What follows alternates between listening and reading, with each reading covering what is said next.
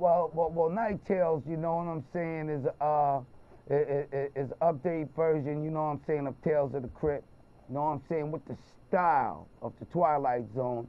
And if everybody's in tune with the Twilight Zone, you know what I'm saying, you know, my, my brand new character is like the brand new Rod Serling of the 2000s, or if anybody is in tune with Tales of the Crypt, I'm more like the Crypt Keeper. But my character and my new name is the Timekeeper. Uh-oh. Flava Hey, Flav. Don't make him go into You character know, right now. And see what we did, what we did was, you know, we took fun and we took scary and we incorporated it together and Mixed came up with a brand together. new TV show called Nite Tales. Who's doing this?